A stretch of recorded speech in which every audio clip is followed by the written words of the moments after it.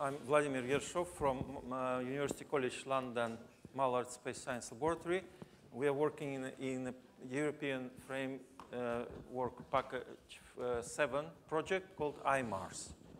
And so this was uh, presented yesterday, and here it's uh, one thing which we are going to do with, with the data for diff different resolution imagery to process the data and create uh, uh, digital terrain models. These are the main objectives of the IMARS project, which were uh, explained. So the main uh, objective is to understand better the evolution of Mars and to see, to, to trace changes. But for that purpose, you need to have a very uniform uh, kind of system for different missions, different uh, instruments, different resolution, and so on. that's why we we are creating a, a processing system uh, uh, within this project uh, to uh,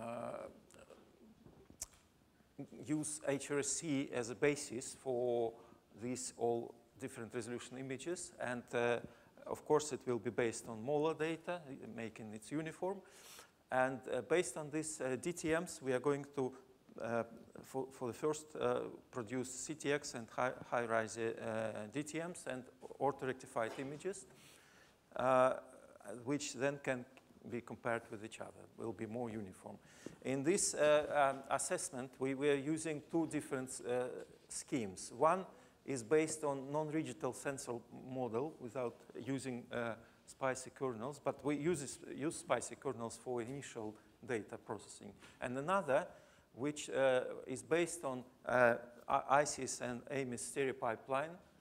Uh, and we were comparing these two things to, to see which is working better and so on. So in the first, we're using non-rigorous non, uh, sensor model uh, creating uh, polynomials to adjust images with each other and with the reference DTM then we will generate uh, uh, the kind of artificial sensor model and uh, create point cloud and then output DTM. Here, in the second part, we use the left and right image. We adjust them to the reference images from HRSC.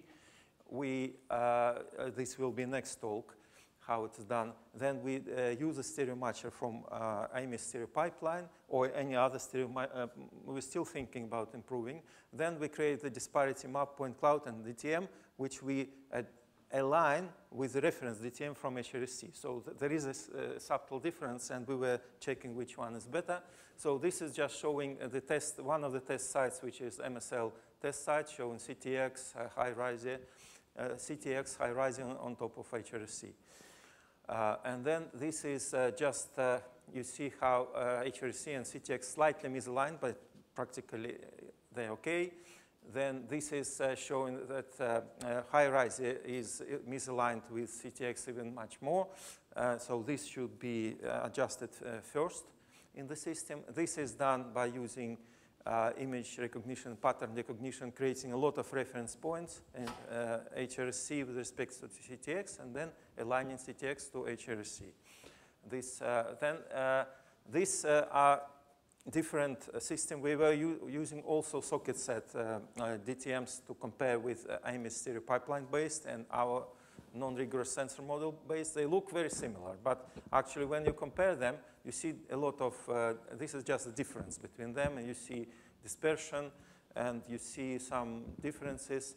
And this is uh, kind of main differences, okay? And you see that uh, we have chosen uh, actually this is the differences. We have chosen this uh, system which is uh, based on Ames stereo pipeline, which is simpler because the first system is working okay, but it is not as robust. It's uh, the uh, rational polynomials sometimes became singular, and then they're diverging and creating problems. So it cannot be used for processing thousands of images, which we are going to do.